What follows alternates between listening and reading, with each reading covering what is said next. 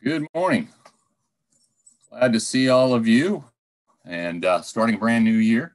Uh, I do appreciate seeing myself on my family on the uh, prayer list. Hopefully, I'm about to get off that list. Uh, last time when uh, we were together, um, I didn't know it for sure and didn't mention it. Uh, you may have noticed that I was sitting while I was doing the lesson, but had the confirmation later that day that the family had COVID, including me. So I was a little less full of energy than I might have been normally. And fortunately, we had a very mild case, and we're over that now and uh, moving forward. And uh, hopefully, won't find something else to be able to uh, uh to take on from that. But we appreciate the prayers along the way, and we're very thankful for uh, how they've impacted and uh, and brought us back to what we think is pretty close to full health. Friday, we began a new year. Now, we will not think fondly of 2020, nor will we miss it. But 2021 is a new year. And that brings with it the hope of something better, both in the world and in us. Perhaps you are one of those who declares resolutions in preparation for the coming year. Most of those resolutions are about fixing what we see as imperfections in ourselves, like weight loss or breaking bad habits in hopes that we will improve that imperfection by taking action in the next year, even with trivial things. Perhaps you express sentiments something like these for most years. My resolution this year is to stop procrastinating.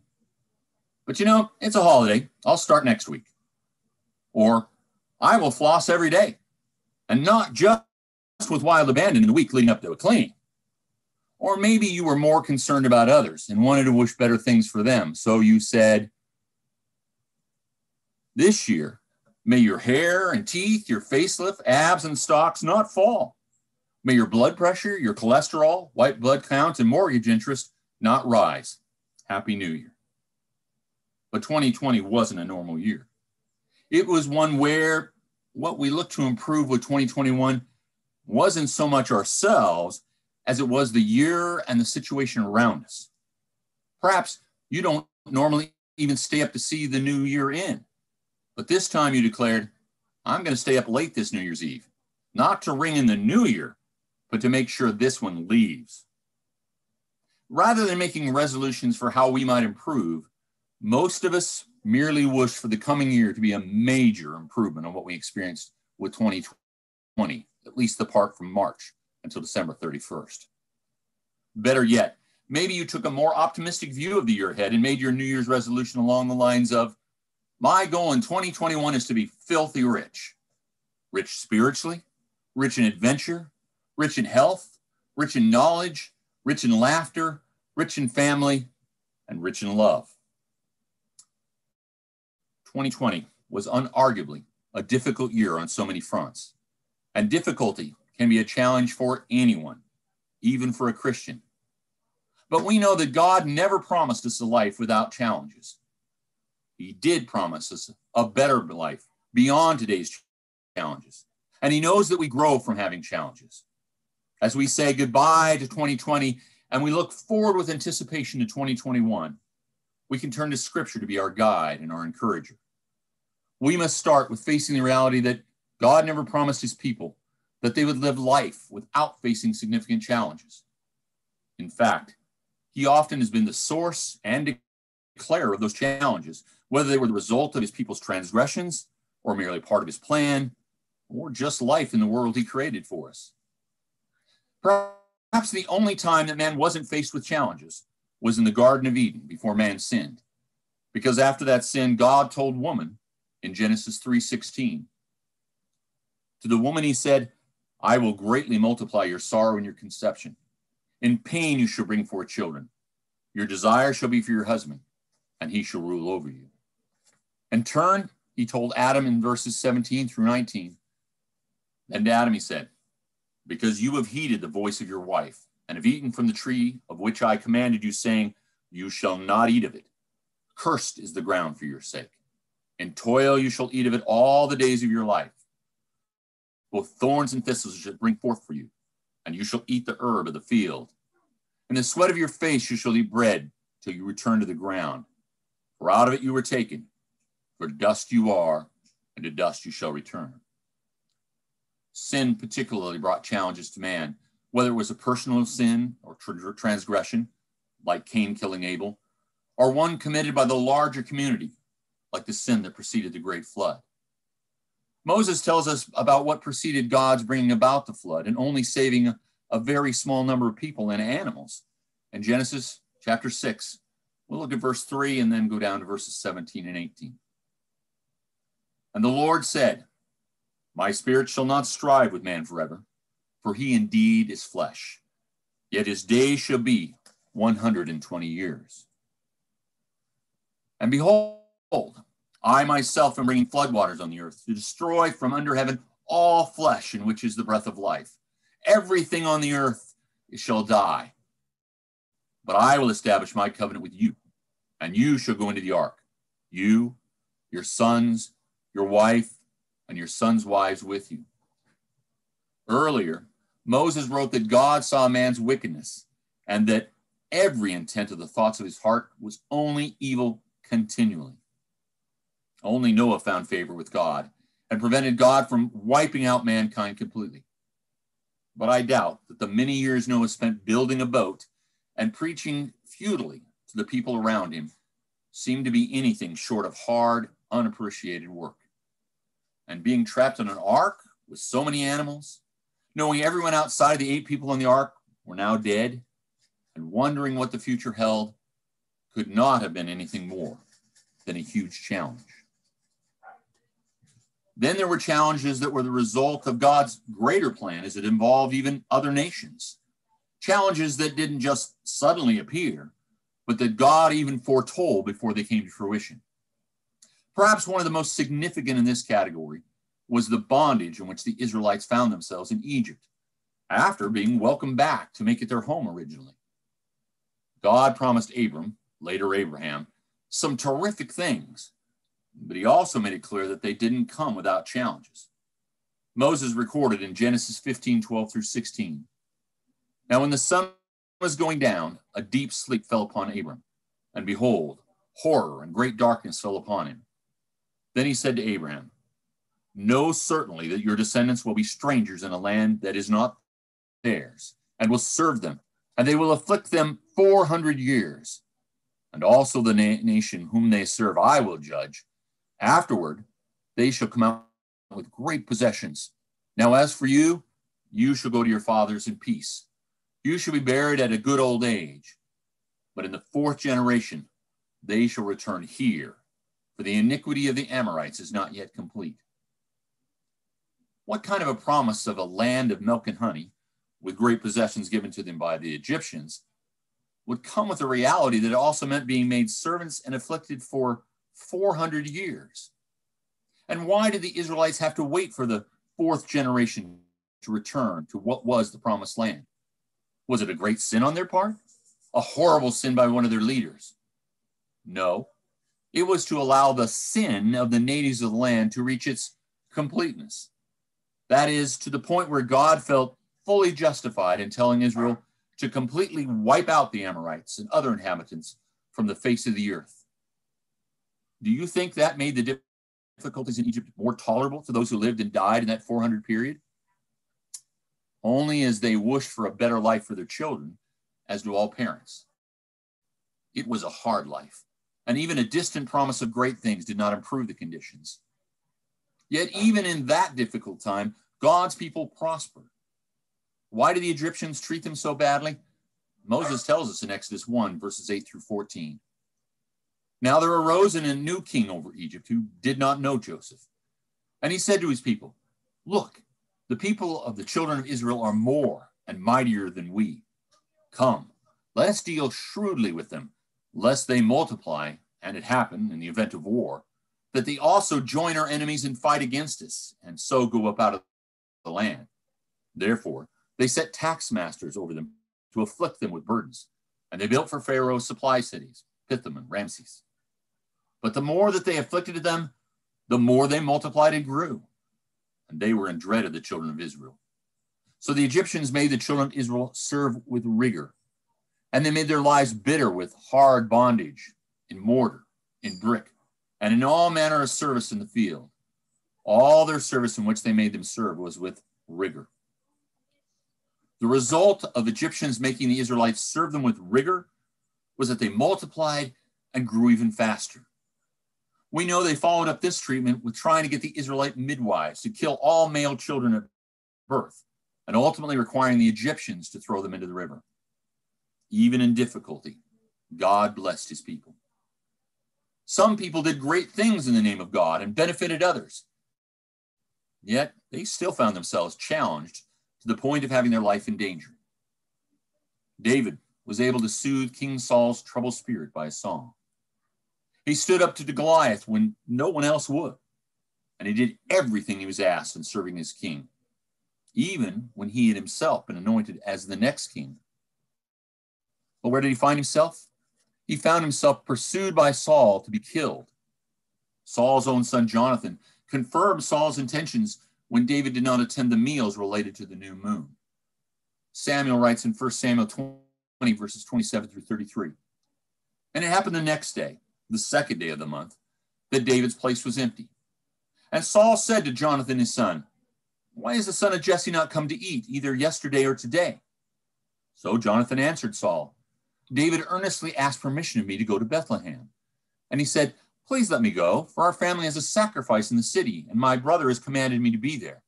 And now, if I have found favor in your eyes, please let me get away and see my brothers. Therefore, he has not come to the king's table.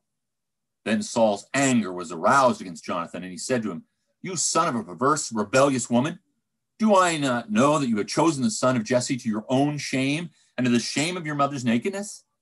For as long as the son of Jesse lives on the earth, you shall not be established, nor your kingdom. Now, therefore, send and bring him to me, for he shall surely die.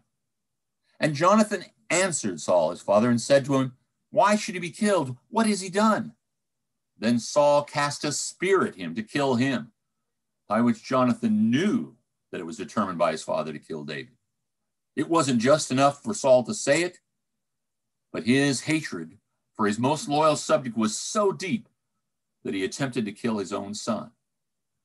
Anyone who seemed to support David was a target for Saul's wrath. God's selection to be king was running for his life, and his commitment to God didn't allow him to take action to end the life of his adversary. During this challenging time, David reached out to God, as recorded in several Psalms, including the 59th, where we can hear his plea in verses 1 through 4. Deliver me from my enemies, O my God. Defend me from those who rise against me. Deliver me from the workers of iniquity, and save me from bloodthirsty men. For look, they lie in wait for my life. The mighty gather against me not for my transgression, not for my sin, O Lord. They run and prepare themselves through no fault of mine. Awake to help me, and behold, through all of that, David stayed true to God, and God stayed true to him, including him becoming king as God had declared. God's people were also put into challenging situations based often on their disobedience and lack of trusting in God alone. For example, the tribe of Judah found themselves in Babylonian captivity after a series of their kings who did great evil in God's sight. And the nation itself forsook God, instead turning to idols. First, 10,000 were taken. But the next king, Zedekiah, foolishly rebelled. And then Jerusalem was besieged to the point where there was no food left for those remaining within it. The king tried to flee, but was caught saw his sons put to death, and had his eyes put out. Everything of value was taken from the temple.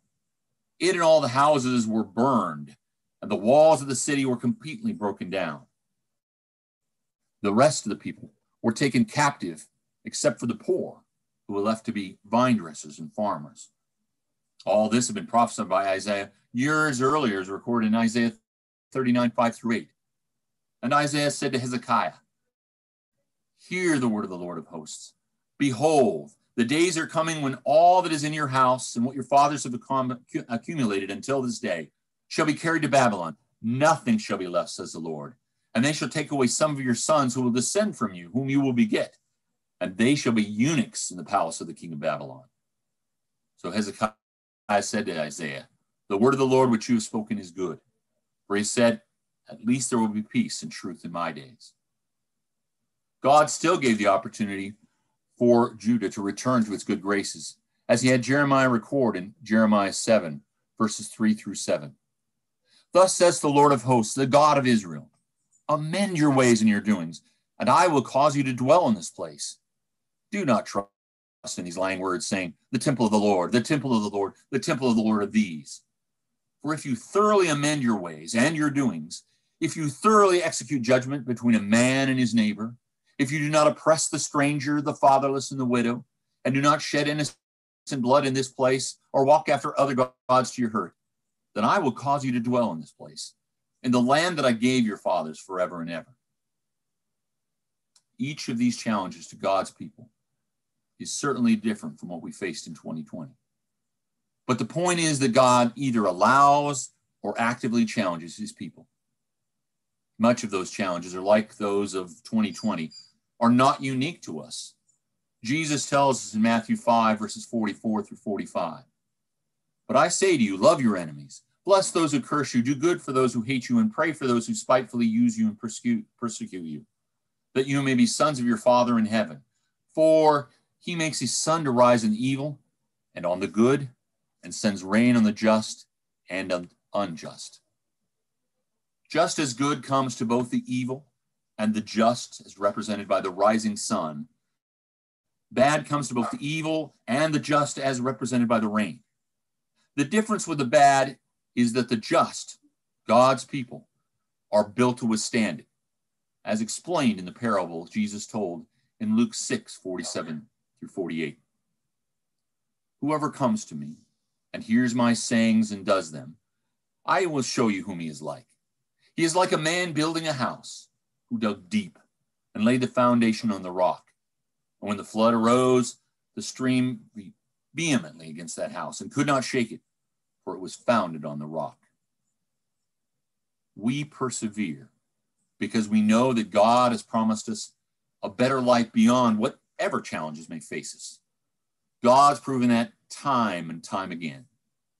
Noah persevered through the preparation for the flood, the event itself, and the aftermath because he knew God would be with him and his family. Abram may have been a little put off by the idea that his descendants would spend 400 years in servitude, but God's promises of great things for the future overwhelmed any negative thoughts. Just consider God's promises to him in Genesis 17, the first eight verses. When Abram was 99 years old, the Lord appeared to Abram and said to him, I am Almighty God Walk before me and be blameless. And I will make my covenant between me and you, and will multiply you exceedingly. Then Abram fell on his face, and God talked with him, saying, As for me, behold, my covenant is with you, and you shall be the father of many nations. No longer shall your name be called Abram, but your name shall be Abraham, for I have made you a father of many nations. I will make you exceedingly fruitful and I will make nations of you, and kings shall come from you. And I will establish my covenant between me and you and your descendants after you in their generations for an everlasting covenant to God, to be God to you and your descendants after you. Also, I give to you and your descendants after you the land in which you are a stranger, all the land of Canaan, as an everlasting possession, and I will be their God. David faced trouble even though he was both loyal to Saul and to God. He had his doubts along the way, but he knew before he had even met Saul that his own destiny was to replace him as king. He wasn't Samuel's choice to be the next king, but he was God's, as Samuel records in 1 Samuel chapter 16. We'll look at verse 1, followed by verses 6 through 7, and then 11 through 13. Now the Lord said to Samuel, how long will you mourn for Saul, seeing I've rejected him from reigning over Israel? Fill your horn with oil and go. I'm sending you to Jesse, the Bethlehemite, for I have provided myself a king among his sons. Moving on to six or seven. So it was when they came that he looked at Eliab and said, Surely the Lord's anointed is before him. But the Lord said to Samuel, Do not look at his appearance, appearance or the height of his stature, because I, I have refused him. For the Lord does not see as man sees. For man looks at the outward appearance, but the Lord looks at the heart. And later, and Samuel said to Jesse, Are all the young men here? Then he said, There remains yet the youngest, and there he is, keeping the sheep. And Samuel said to Jesse, Send and bring him, for we will not sit down till he comes here.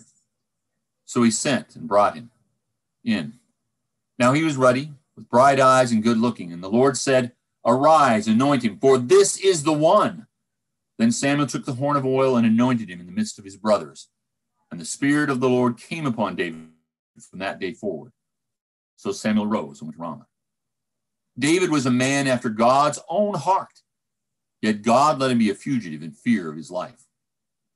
But once Saul had died, David found himself to be a powerful and rich king, blessed by God, rather, being, rather than being the shepherd Samuel first met. For all the evil that Judah and its kings had committed against God, they had a promise of being brought back from captivity, as the prophet Jeremiah recorded in Jeremiah chapter 29, verses 10 through 14. For thus says the Lord After 70 years are completed at Babylon, I will visit you and perform my good word to you and cause you to return to this place. For I know the thoughts that I think toward you, says the Lord thoughts of peace, not of evil to give you a future and a hope. Then you will call upon me and go and pray to me, and I will listen to you. And you will seek me and find me when you search for me with all your heart. And I will be found by you, says the Lord, and I will bring you back from your captivity. I will gather you from all the nations and from all the places where I've driven you, says the Lord. And I will bring you to the place from which I caused you to be carried away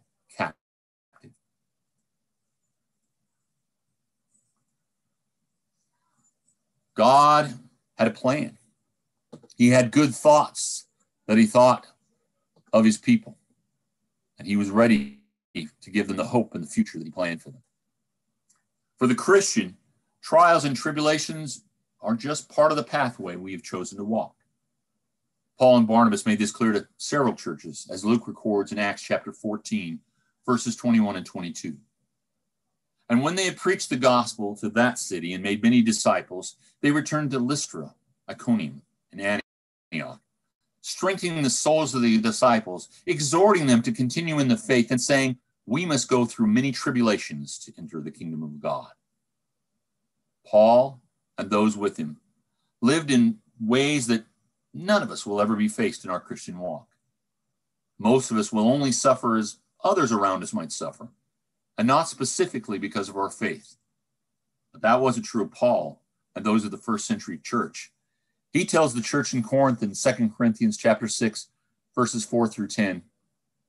But in all things, commend ourselves as ministers of God, in much patience, in tribulations, in needs, in distresses, in stripes, in imprisonments, in tumults, in labors, in sleeplessness, in fastings by purity, by knowledge, by long suffering, by kindness, by the Holy Spirit, by sincere love, by the word of the truth, by the power of God, by the armor of righteousness on the right hand and on the left, by honor and dishonor, by evil report and good report, as deceivers and yet true, as unknown and yet well known, as dying and behold we live, as chastened and yet not killed, as sorrowful yet always rejoicing, as poor yet making many rich, as having nothing and yet possessing all things.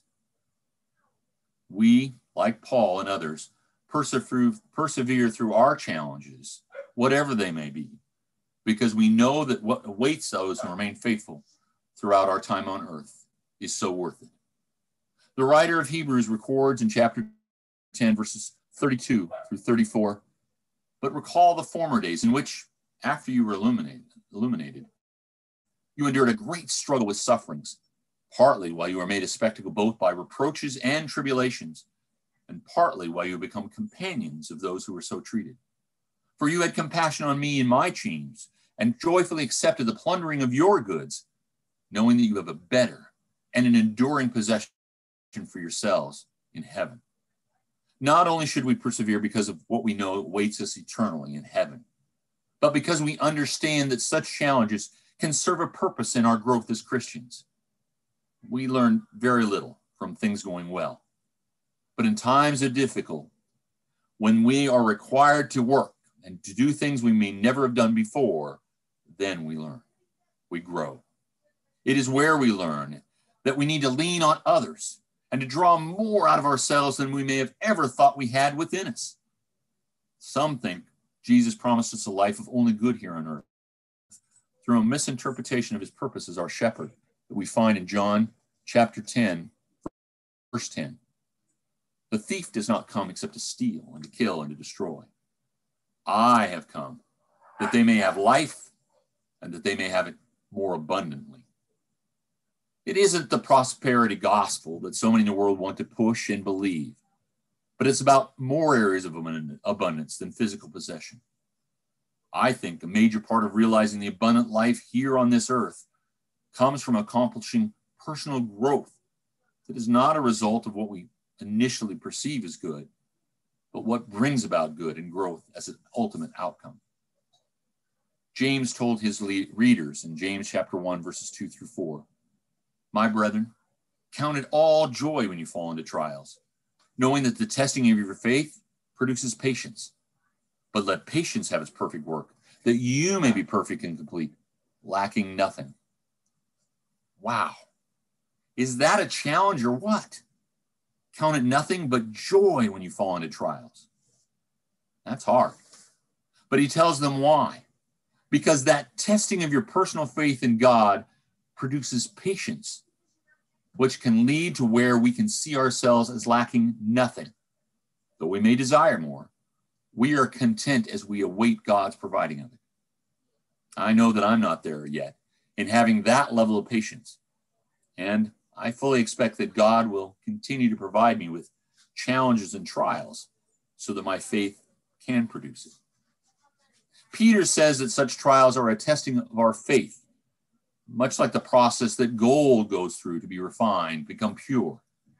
And he specifically spoke to Christians like us who love and believe in a Savior that we have not seen, unlike Peter and others of the first century.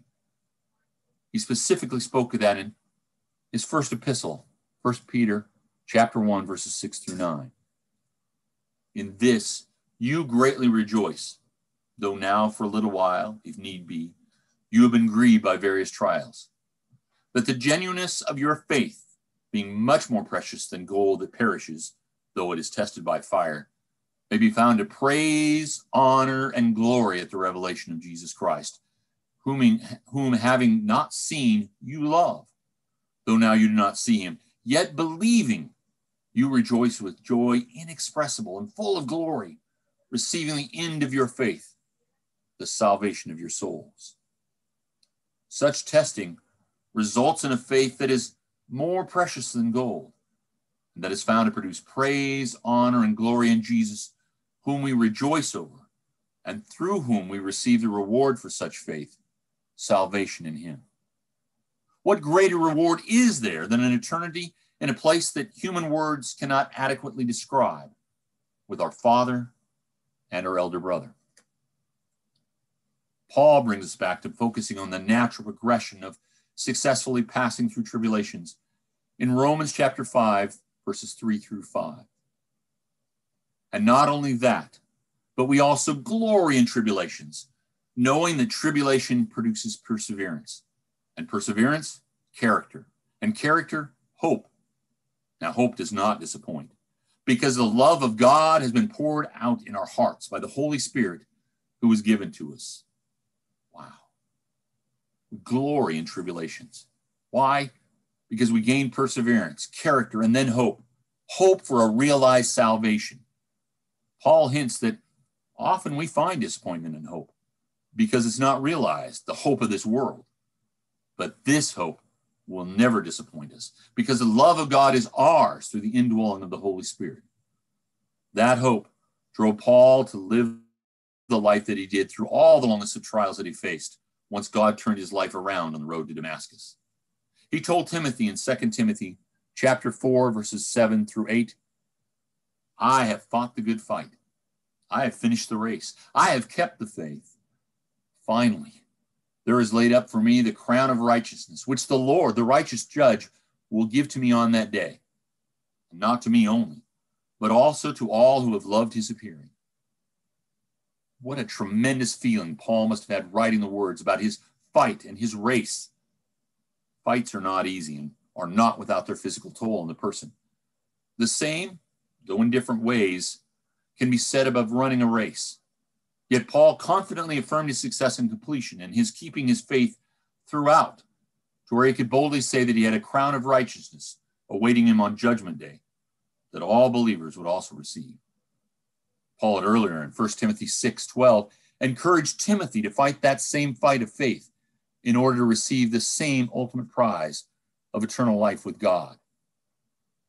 Fight the good fight, faith, fight of faith. Lay hold on eternal life to which you are also called and confess the good confession in the presence of many witnesses. That encouragement to Timothy is there as an encouragement to each of us to continue to fight the good fight, even in face of the trials that we experienced in 2020. Gain through challenges, through difficulties, through trials. Though we were never promised a life without trials as Christians, we are promised a better life beyond those challenges with growth and an abundant life, even as we pass through this life to get to our reward of heaven.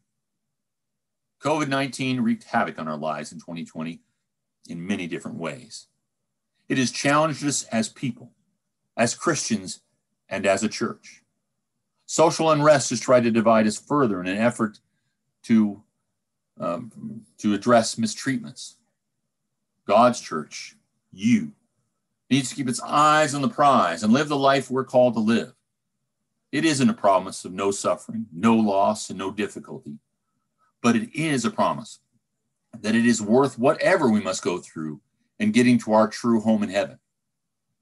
2021 isn't guaranteed to return us to what we saw as normal or to make all the challenges of 2020 go away. But we can make it better for us than 2020, no matter what changes or doesn't around us. Each year is an opportunity, just as each day, each hour, and each minute provide us another chance to do right by God. For all that 2020 may have cost us, we had an opportunity, perhaps even an encouragement, to focus on the most valuable things God and family. 2020 offered you the opportunity to capitalize more on both of them. Did you? Will you in 2021? Did you pray more? Did you read the scriptures more? Did you encourage others more? Did you grow as a Christian? If you didn't, then 2021 is your opportunity to change that.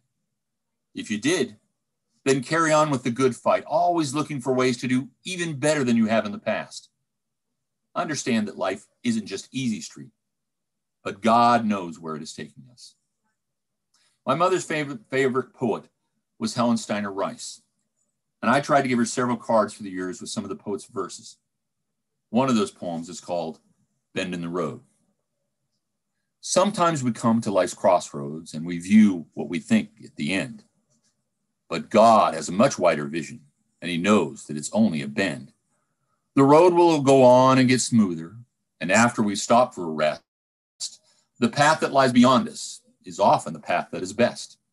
So rest and relax and grow stronger. Let go and let God share your load, and have faith in a brighter tomorrow. You've just come to a bend in the road. If that bend in the road that was 2020 caused you to fall away from your faith, I encourage you to use today, use 2021 to fix your relationship with God privately or through contact with your elders.